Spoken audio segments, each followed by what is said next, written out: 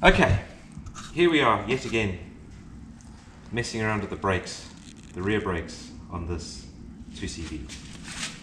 And we have been really battling to get them adjusted up, which is why Bruce went and bought this adjustment tool, which will come in really handy in about 20 minutes, half an hour.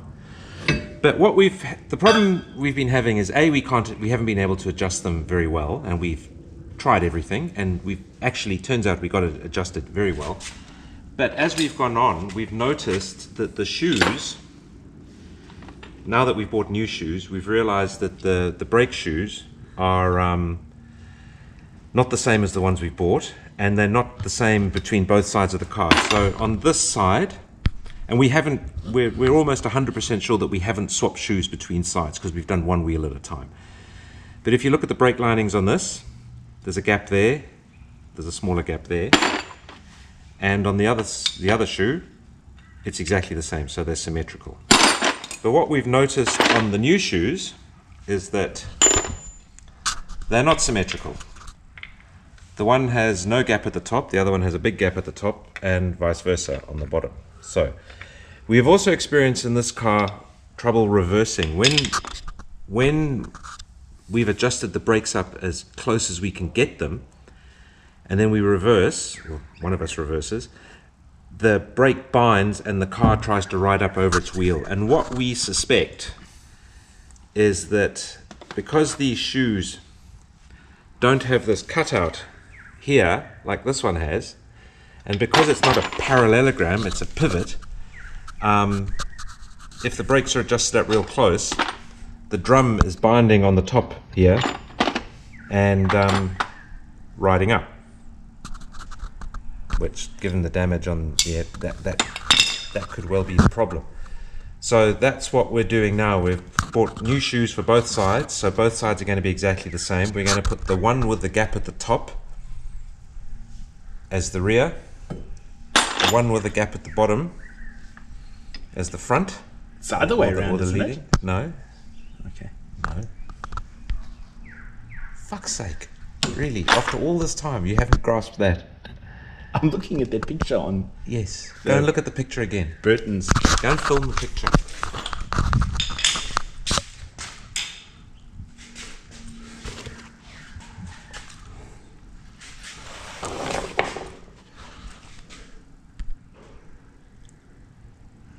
Okay, viewers, do you think Martin's right? Thank you, Burton. Okay, I'll just explain this again for people like Bruce who seem to battle to grasp. So, so Bruce's fundamental problem is that he thinks that if this wheel on the left-hand side of the car and the car's going forward, that this wheel will turn anti-clockwise, right? So leading shoe, trailing shoe. Bruce seems to think that when the wheel's on the other side of the car and it's going forward, that wheel's going backwards. I don't. You do. I get the logic of that. You do. But but it's not going backwards. Both wheels are going in the same direction when the car's going Let me forward. just check my text message. So the leading shoe is the leading shoe. So we're going to make the trailing shoe when the car's going forward to have the gap at the top here. So that when it's the leading shoe when the car's going backwards, it won't bind up on this corner if the brakes are, are, are, are adjusted up. And we're going to do the other side exactly the same. You understand that, right? I do. We're going to do it the same way on the I other do, I side. do, I do. It's Okay. at the rear of the car. yeah. At the yeah. rear of the car. Yeah, because when the car is going in that way, both wheels are turning effectively in the same direction, right? Yeah. So that's that's what we're going to do, and we're going to we're going to think think. Well, we're hoping that's going to stop the binding problem, and of course this this is going to be very useful because this is basically a see-through drum, and once we get all the shoes in there, we can we can use the snails here, the snail cams here to get everything more or less square. We can adjust the this this this bolt here, which is as you can see, it's it's it's eccentric. So that's where we adjust the bottom pivot point. That's where we adjust the the I don't know what you call it. This little bit up here. Snail. Well, the snail will adjust the the angle up here. This will adjust the the, the, the where it pivots It's go go. and um, yeah, we'll, we'll we'll we'll see how we'll go because this has been a nightmare. These brakes, we've been fiddling with them Yeah. a lot and just haven't got them right. And only now have we realized that A, these are exactly the same. And I think those are, And um, they shouldn't be. And on the other side, it's even worse because what we think is that these have been relined at some point. By somebody who doesn't know what they're doing. Well, yeah. So these brakes look like this. On the other side, there's absolutely no gap here. The brake, the the, the, the brake um, friction material just goes all the way to the end of the brake shoe. So, and that's the other side that we've had the most trouble with in Yeah. in getting them adjusted. So here we go. New shoes. We've got new cylinders, although that doesn't look that new anymore. We've got new snails. Um, all these fittings are going to be new. We've got new um, fold-over locks and Uh, spring holders. And for our viewers, Mart, I And have to say, springs. we've even broken a brake lining and re well uh, brazed it. That's true. We've Be we've careful when taking the cylinders out. You'll break brake linings. It's a nightmare. Yes, yeah, well, not linings, brake lines. Brake lines. brake lines. So we had to go off and silver solder. On the other side, we had to put a sleeve on and silver solder it. However, we could have replaced the whole line. Um, it turns out that is possible, but we certain some people have told us it's not possible, and you're better off silver soldering, silver soldering. And for your Americans, any Americans who may or may not be listening, yes, we do say soldering, not soldering, All right. Okay. soldering. It's got an L in it. Yes. And Anyway. you've lived in the states, so you understand that. apparently.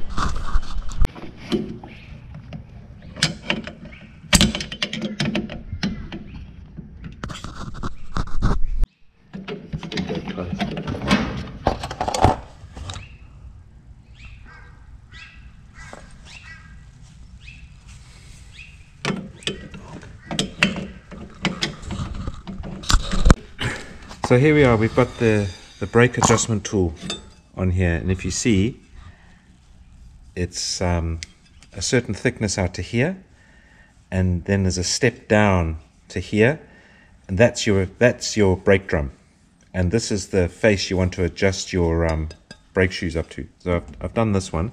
So slide it on. As you can see, that one's if you look if you look here, you can see the gaps. It's not a parallelogram, so the gap it's you'll see as it goes out the gap will be more uniform so here this side I've got to adjust the bottom pivot point to get this shoe out a little bit and then I'll adjust the snail cam which is behind here with a spanner as you can see there when I move it it moves to adjust it up tight so I'm going to swing this out a bit more and and just watch it. I'll turn this. I think I've got to turn this anti-clockwise just to get the base out a bit more. See, there you go. It's moving out now, and now I'll adjust the 14 on the back. No, it's not. It's not. It's not square. There you go. There you go. That's pretty much square all around. I might just give that a little tweak. Yeah. Yeah, so so get it on. Get that on. Make sure that one's on.